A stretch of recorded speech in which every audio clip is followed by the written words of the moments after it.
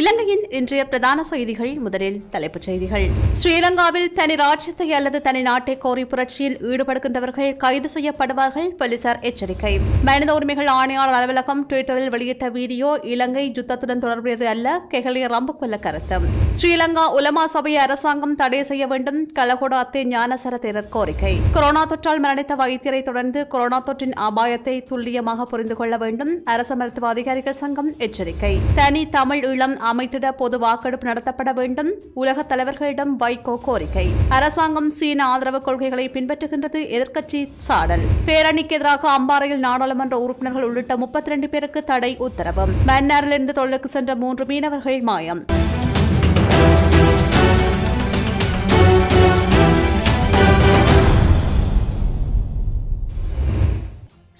இந்தியாவில் தனி ராஜ்யத்தை அல்லது தனிநாட்டை கோரி புரட்சியில் ஈடுபடுகின்றவர்கள் கைது செய்யப்படுவார்கள் என்று போலீஸ் ஊடக பேச்சாளரான பிரதி அதிபர் அஜித் ரோகன கடும் எச்சரிக்கை ஒன்றை வெளியிட்டுள்ளார். தமிழீழ விடுதலை புலிகள் இயக்கத்தை மீளுருவாக்கம் செய்ய முயற்சித்த குற்றச்சாட்டில் பலர் கைது செய்யப்பட்டது போல் அந்த செயற்பாட்டில் ஈடுபடுகின்ற எவரும் உடன் அமலுக்கு வரும் வகையில் கைது செய்யப்படுவார்கள் என்று அவர் தெரிவித்துள்ளார். பயங்கரவாத தடுப்பு பிரிவால் கைது செய்யப்பட்டுள்ளவர்களை விடுதலை செய்யுமாறு கோரி கிளிநொச்சியில் நேற்று ஆர்ப்பாட்டம் ஒன்று முன்னெடுக்கப்பட்டது. இவ்வாறு கைது செய்யப்பட்டிருக்கின்றவர்கள் எந்தவித அடிப்படை காரணங்களும் அற்ற நிலையில் நீதிமன்றத்தில் முன்னிலைப்படுத்தாது. தொடர்ச்சியாக தடுப்பில் வைக்கப்பட்டிருப்பதாகவும் அவர்கள் விடுவிக்கப்பட வேண்டும் என்று ஆர்ப்பாட்டத்தில் ஈடுபட்ட கைதாகியவர்களின் உறவினர்கள் வலியுறுத்தினர். இந்நிலையில் இந்த விடயம் தொடர்பாக இன்றைய தினம் ஊடகங்களுக்கு கருத்து வெளியிட்ட போலீஸ் ஊடக பேச்சாளர் அஜித் ரோகன குறித்த சந்தேக நபர்கள் தமிழீழ விடுதலை புலிகள் இயக்கத்தை மீளுருவாக்கம் செய்வதற்கு முயற்சித்தவர்கள் என்ற அடிப்படையிலேயே கைதாகி இருக்கின்றார்கள்.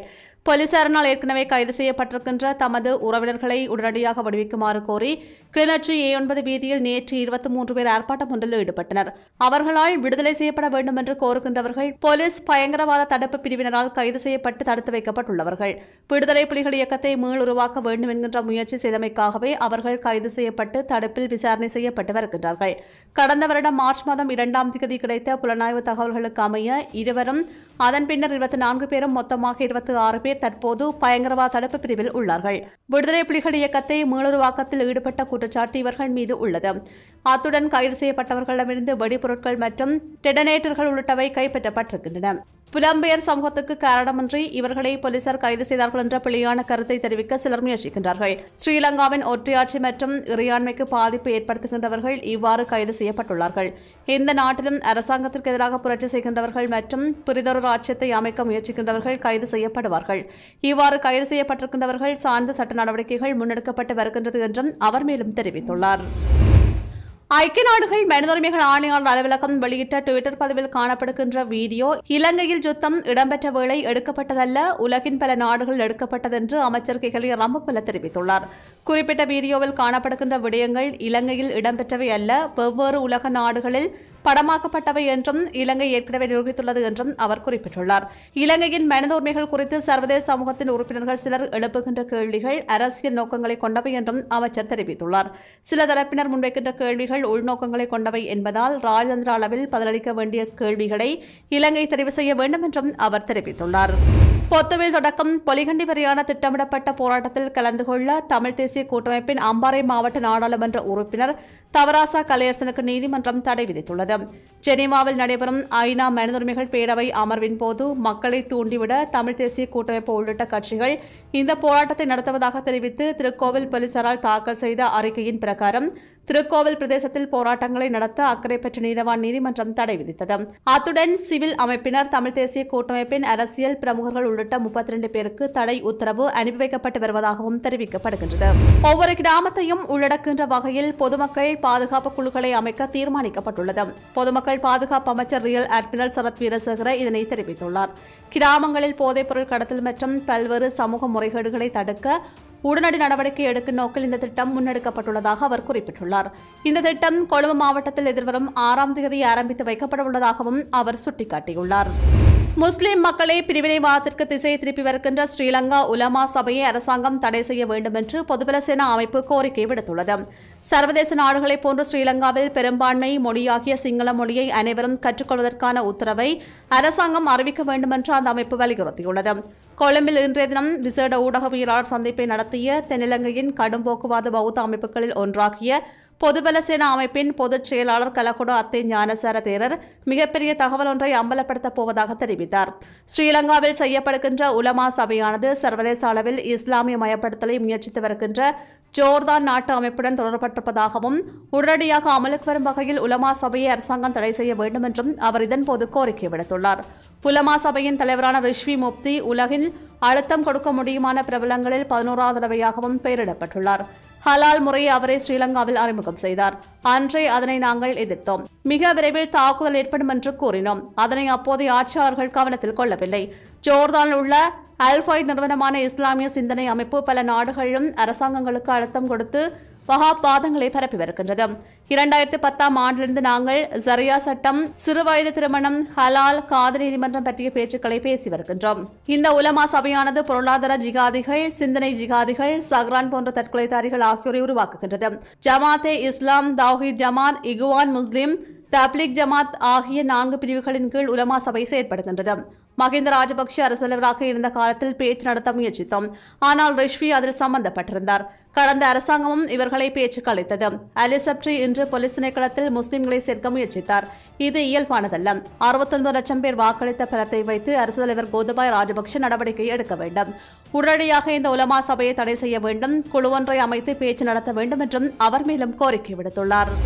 உயிர்த்த ஞாயிறு தினத்தில் தற்கொலை தாக்குதல்களை நடத்திய தீவிரவாதிகள் கும்பலிருந்து தப்பி சென்று இந்தியாவில் தலைமறைவாகியுள்ளதாக கூறப்படுகின்ற பெண் சந்தேக நபர் குறித்து தனக்கு தெரியாது என்று நீதியமைச்சர் அலிசப்ரி தெரிவித்துள்ளார். கண்டி நீதிமன்ற கட்டட தொகுதிக்கு நீதியமைச்சர் அலிசப்ரி இன்றைய தினம் விஜயம் மேற்கொண்டிருந்தார். அமைச்சரின் விஜயத்தின் பின் அங்கு கூடியிருந்த ஊடகவியலாளர்கள் அனுப்பிய கேள்விக்கு அவர் பதிலளித்துள்ளார் குறிப்பாக இந்தியாவில் தலைமறைவாகி இருக்கின்ற பெண் தீவிரவாதி குறித்து ஊடகவியலாளர்கள் அமைச்சரிடம் வினவினர். இது குறித்து பேச்சு நடத்த விசேட அமைச்சரவை கூட்டத்தை அழைப்பதாக அரசு தலைவர் கோதபாய ராஜபக்ஷ தெரிவித்திருக்கின்றார்.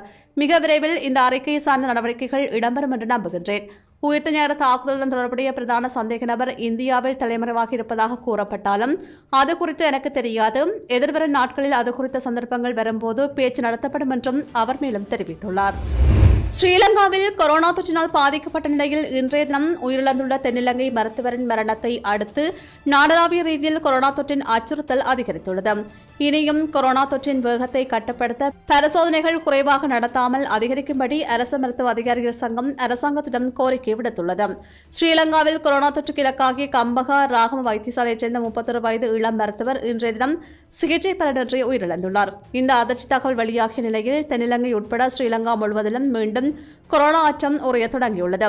இதனிடையே கொழும்பில் இன்றைய தினம் ஊடகவியலாளர் சந்திப்பை நடத்திய அரசு மருத்துவ அதிகாரிகள் சங்கம் இனிமேலும் விரைந்து அரசாங்க நடவடிக்கை எடுக்காவிட்டால் மேலும் மரணங்கள் ஏற்பட வாய்ப்புகள் அதிகமாக இருப்பதாக எச்சரித்துள்ளார். கொரோனா இரண்டாவது அலையில் நூற்றுக்கும் மேற்பட்ட மருத்துவர்கள் தொற்றுக்கு இலக்காகியுள்ளார்கள் பணிக்குழாமில் ஆயிரத்துக்கும் மேற்பட்டவர்கள் தொற்றினால் பாதிக்கப்பட்டிருக்கின்றார்கள். விசேடமாக சுகாதாரத்துறையினரின் பாதுகாப்பிற்கு உடனடி நடவடிக்கையை சுகாதார அமைச்சு மேற்கொள்ள வேண்டும். இவ்வாறு தொடர்ச்சியாக சுகாதார பணியாளர்கள் தொற்றுக்கு இலக்காகி ஏற்பட்டால் பொதுமக்கள் சிகிச்சை எங்கே பெற்றுக் கொள்வார்கள். இந்த தொற்று பாதிப்பை நாங்கள் கூறும்போது மக்களை அச்சுறுத்துகின்றோம் என்று கூறுகின்றார்கள்.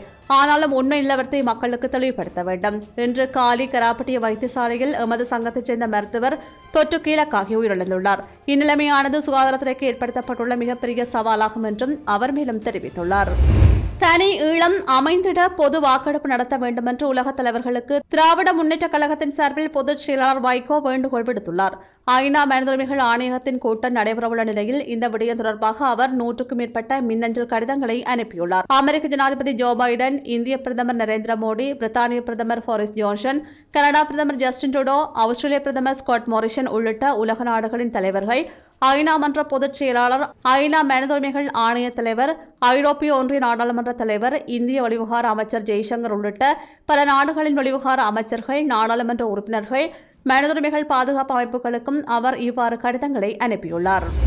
வரையறை இன்றி சீனாவை ஸ்ரீலங்காவிற்குள் அனுமதித்த தற்போதைய பிரதமர் மஹிந்த ராஜபக்ஷவின் பிழையான வெளிநாட்டு கொள்கை காரணமாக இந்தியாவின் பாதுகாப்பிற்கு அச்சுறுத்தல் ஏற்பட்டிருப்பதாக ஐக்கிய மக்கள் சக்தி தெரிவித்துள்ளது.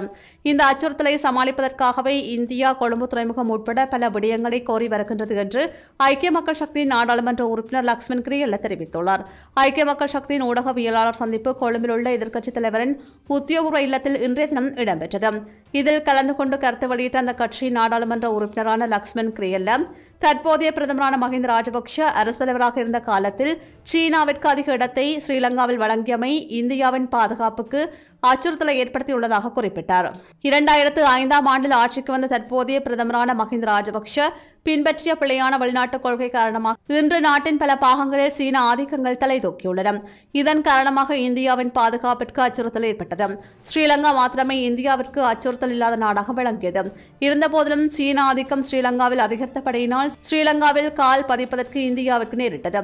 தற்போது கொழும்பு துறைமுகத்தின் கிழக்கு முனையை இந்தியாவிற்கு வழங்க மாட்டோம் என்று ஸ்ரீலங்கா அரசாங்கம் தெரிவித்துள்ளது.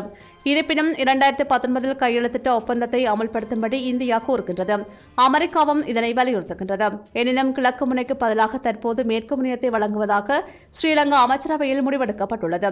இதனை இந்தியா ஏற்றுக்கொள்ளுமா என்பதில் சந்தேகம். இரண்டாயிரத்து ஐந்தாம் ஆண்டில் மஹிந்த பின்பற்றிய பிடியான வெளிநாட்டுக் கொள்கை காரணமாக அதனூடாக சீனா வரையறையின்றி ஸ்ரீலங்காவில் தலையீடுகளை செய்ய அனுமதி வழங்கப்பட்டதன் காரணமாக இந்தியாவிற்கு பாரிய பிரச்சினை ஏற்பட்டுள்ளதை அவரால் மறக்க முடியாது என்றும் அவர் மேலும் தெரிவித்துள்ளார்.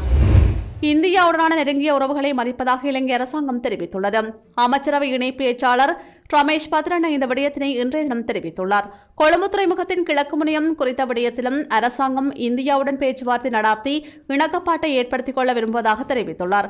மேற்கு முனையம் தொடர்பில் இந்தியாவுடன் பேச்சுவார்த்தை நடாத்த உள்ளதாகவும் தெரிவித்துள்ளார். இதேவேளை கிழக்கு முனையம் மூலோபாய ரீதியில் இலங்கைக்கு முக்கியத்துவம் வாய்ந்தது என்ற காரணத்தினால் இதனை அபிவிருத்தி செய்கின்ற பணிகளை வேறு தரப்பினருக்கு வழங்குவதில்லை என்று அரசாங்கம் தீர்மானித்தது என்றும் அமைச்சரவை இணை பேச்சாளர் உதயகாம்பன் பில தெரிவித்துள்ளார். வெளிநாடுகளில் உள்ள இளைஞர்களை நாட்டுக்கு அழைத்து வருவதற்காக விசேட வேலைத்திட்டம் ஒன்றை ஆரம்பிக்க உள்ளதாக தொழில் அமைச்சர் நிமல் ஸ்ரீபாலடி சில்வா தெரிவித்துள்ளார்.